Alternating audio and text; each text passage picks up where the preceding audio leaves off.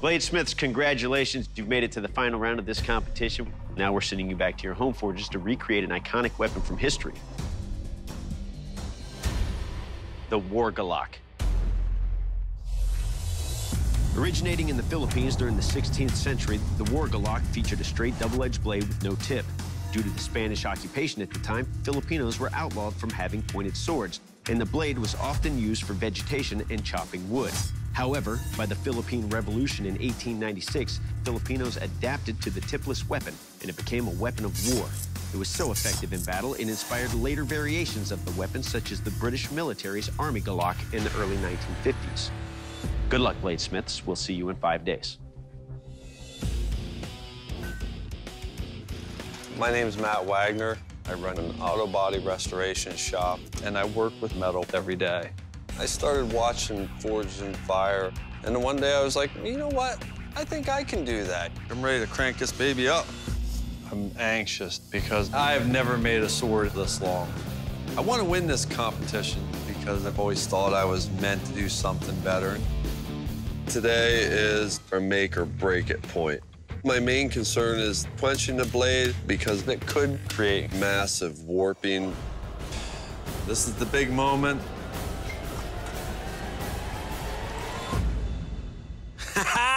That's freaking straight.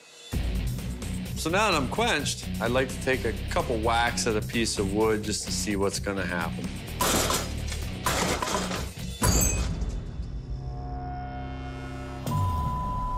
I've shattered my blade into three pieces. This is an epic failure. I'm running out of time. I'm gonna have to start over. I might not finish this thing. My plan is to use a piece of leaf spring and get a complete sword forged out in one day. I'm working on a deadly timeline, and I am just busting my... I gotta get my quench done by the end of day four because I don't know if I have a good blade yet. I may have to build another one tomorrow. You never know. It's going pretty quick. I'm running out of time. If this blade doesn't harden with this quench, I'm really screwed. I got my fingers crossed.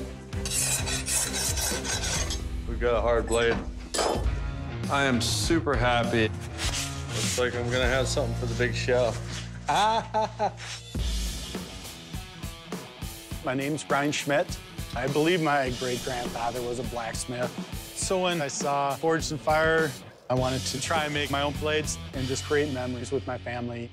I think I have a pretty good chance of winning. The basic shape of my blade is in there now. This is gonna be the War Golok. The blade's looking really nice. Got the handle set up for a lot of work today. The handle's made out of maple. It's also the part of the knife where I'm customizing it for myself a little bit. Yeah, not so bad. I think they turned out pretty nice. I sharpened my blade three times. The thing's razor sharp. All right, feels good. Now, want to go test the blade, and my son is joining me. Ready? All right, here we go. Ooh, awesome. That thing slices right through. It feels good in my hand, so I think it's gonna do well. All right. Very deadly. Bladesmiths, to see what kind of lethal damage your weapon will do, we'll take your sword and deliver hacks and slashes on this big carcass. Brian, you're up first. You ready for this? Absolutely. Depending on where you hit that blade, you know, it can always snap apart. Bladesmiths, unfortunately, I'm still recovering from an injury. So, Anthony, one of my senior instructors of Thai Kali, will be the butcher to your pork chop.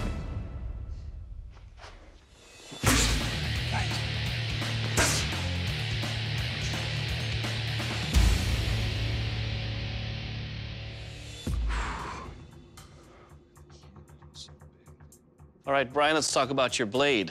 First up, your edge is razor sharp. It lacerated easily through bones, through the spine. The one issue here is that you have a very blocky handle. Aside from that, it will kill. Good job. Thanks. Matt, ready to chop? I've been ready. Let's do this.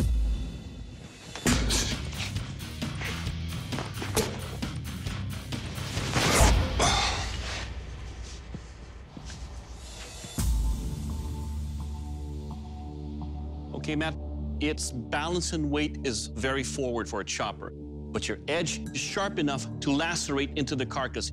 It did chop the spine, it did chop bone. This will kill. Thank you. Gentlemen, this is a strength test. To test the strength and durability of your edge, I'm going to chop into these huge logs 10 times. Remember, this test is all about what happens to your weapons and not what happens to the logs. Brian, you're up first. Are you ready? I think so, yep. All right.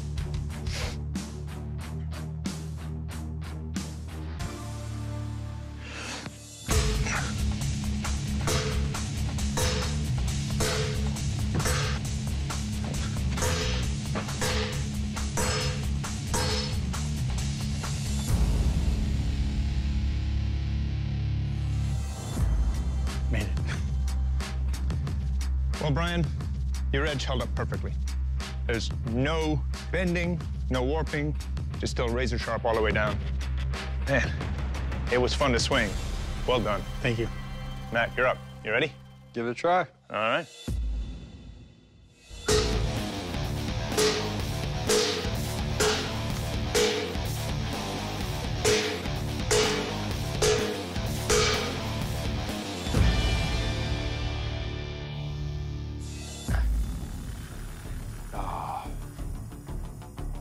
Matt, there's so much forward weight that it actually bent that way.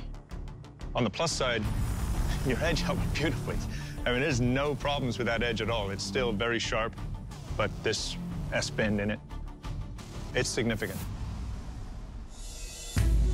Bladesmiths, you both brought in some pretty extraordinary historic weapons. But in this arena of competition, there can only be one Forged in Fire champion. Brian, congratulations. You are the new Forged in Fire champion. Thank you. Matt, unfortunately, your blade did not make the cut. Matt, your blade is impressive. We saw that it could kill, but unfortunately, in the strength test, it took a significant bend, and it's for that reason we have to let you go. I understand. Matt, please surrender your Golok. Even with losing at the end of the day, I don't feel like I really lost because I went way further than I ever expected. I don't know enough about it yet that I can make that perfect blade. So, you know, I'll keep learning. Brian, you are the new Forged in Fire champion, and that comes with a check for $10,000. Good job. Thank you, guys. Thank you. Please present your weapon to the judges. It feels great to be Forged in Fire champ. I can't believe I won. It's awesome. I would say if somebody wants to start learning how to make a knife, start out watching Forged in Fire. Just start at episode one. Binge watch.